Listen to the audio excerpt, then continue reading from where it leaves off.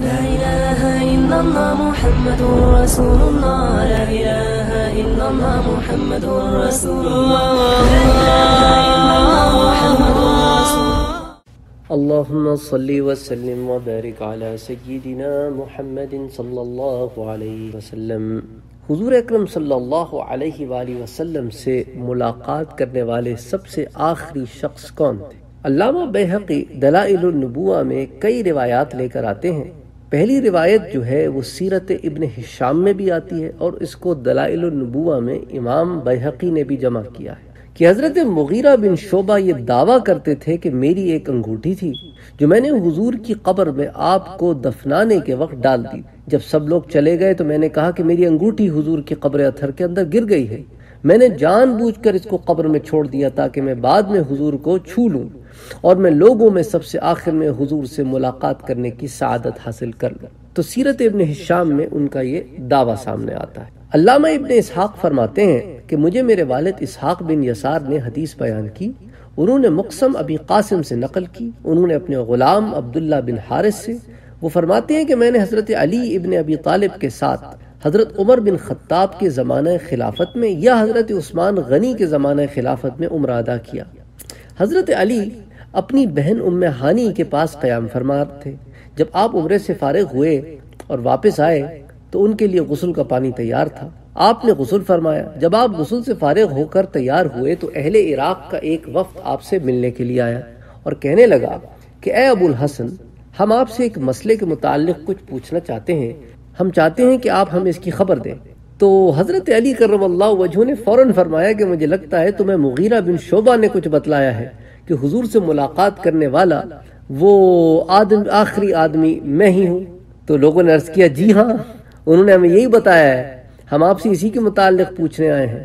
تو حضرت علی کرم اللہ وجہ نے فرمایا کہ اسے غلط فہمی ہوئی ہے کہ وہ آخری آدمی تھا جو حضور صلی اللہ علیہ وآلہ وسلم سے جس کی ملاقات ہوئی۔ اصل میں حقیقت یہ ہے کہ حضور سے ملاقات کرنے والے آخری شخص قسم ابن عباس تھے۔ تو سیرت ابن حشام میں ایک روایت یہ بھی آتی ہے، جسے امام بحقی نے بھی جمع کیا ہے۔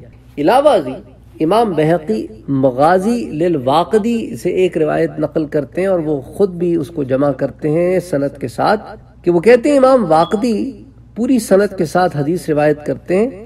آگے وہ جا کے عبید اللہ بن عبداللہ بن عدبہ سے نقل کرتے ہیں، وہ فرماتے ہیں کہ مغیرہ نے اپنی انگوٹھی جو ہے، وہ قبر اتھر میں ڈال دی۔ تو حضرت علی نے ان سے فرمایا کہ تو نے انگوٹھی اس لیے ڈالی ہے تاکہ تو ہم سے کہے اور ہم تجھ سے کہیں کہ تو حضور کی قبر میں اتر کر انگوٹھی لے لے۔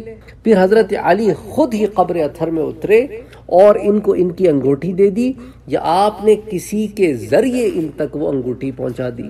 تو کسی کے ذریعے پہنچائی کے ضمن میں علماء نے اس کی تفصیل یہی بیان کی ہے کہ حضرت علی نے حضرت قسم ابن عباس سے کہا کہ قسم، تم اترو اور وہ انگوٹھی مغیرہ کو واپس کر دو۔ تو اس زمن میں ایک روایت یوں بھی آتی ہے کہ آپ صلی اللہ علیہ وسلم کو لہد میں رکھنے کے بعد سب سے آخر میں آپ کی قبر مبارک سے حضرت قسم ابن عباس نکلے۔ اور ایک قول میں ہے کہ سب سے آخر میں نکلنے والے حضرت مغیرہ بن شعبہ تھے کیونکہ ان کی انگوٹھی قبر مبارک میں انہوں نے گرا دی تھی، پھر انہوں نے حضرت علی سے کہا کہ یا اب الحسن، میری انگوٹھی میں نے اسے جان بوجھ کر گرایا ہے تاکہ میں حضور کو چھو سکوں اور لوگوں میں آخری بار آپ کو چھونے والا میں ہی ہوں۔ حضرت علی نے فرمایا، اتر جاؤ، اٹھا لو۔ ایک قول میں انہوں نے پھوڑا گرا دیا اور ایک دم کہنے لگے کہ پھوڑا پھوڑا پھر وہ قبر میں اترے اور اٹھا لائے۔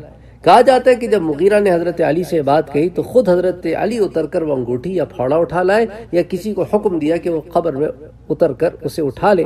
پھر حضرت علی نے ان سے فرمایا، تم نے ایسا کیا تاکہ تم یہ دعویٰ کر سکو کہ حضور کے قریب جانے والے تم آخری آدمی تھے۔ تو اسی کو عراق کے لوگوں نے حضرت علی کرم اللہ وجہ سے پوچھا کہ، یا اب الحسن، ہم آپ کے پاس یہ بات دریافت کرنے آئے ہیں۔ تو حضرت علی نے فرمایا، میرا خیال ہے مغیرہ ابن شعبہ نے تم سے یہ کہا ہے اور وہ اس کے بارے میں شک میں ہے۔ وہ یہ سمجھتے ہیں کہ وہ آخری آدمی ہے۔ اصل میں حضور اکرم صلی اللہ علیہ وآلہ وسلم سے ملنے والے، حضور سے ملاقات کرنے والے آخری شخص قسم ابن عباس ہے۔ ہمارے چینل کو سبسکرائب کرنا نہ بھولیں اور بیل کے آئیکن پر کلک کریں تاکہ آپ کو ریگولر نوٹیفیکیشن اپڈیٹس مل سکیں۔